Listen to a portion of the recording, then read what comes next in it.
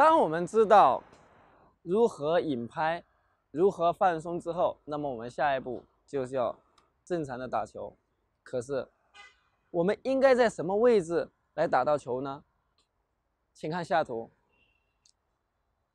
以平行球网为例，把这个呢这个图形作为我们一个时钟图。当我身体面向球网的时候，那么这是我们十二点钟的方向，一点、两点、三点钟的方位。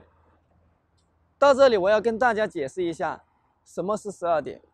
十二点是指左手永远的垂直球网，垂直。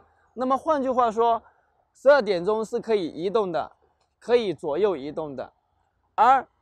齐平水齐平球网的这一条线，我们把它称之为三点钟的线。那么，三点钟的线是可以前后移动的，是根据我们身体最前端这只脚的脚尖儿来决定的。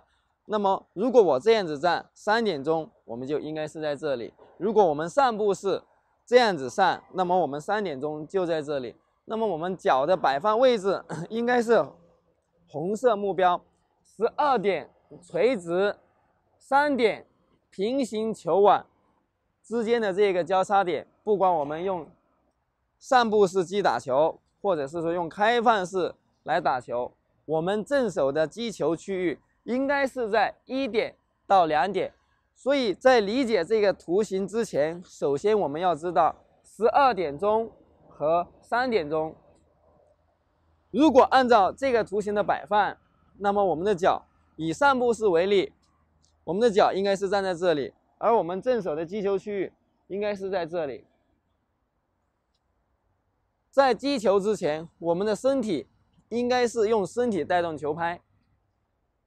一句话，先转体，或者是说在转体的同时挥拍，这能够帮助我们在后期的一些训练当中呢，达到事倍功半的一个效果。像这样，可是十二点钟可以左右移动，那么我们的哎脚的摆放位置应该就在这里。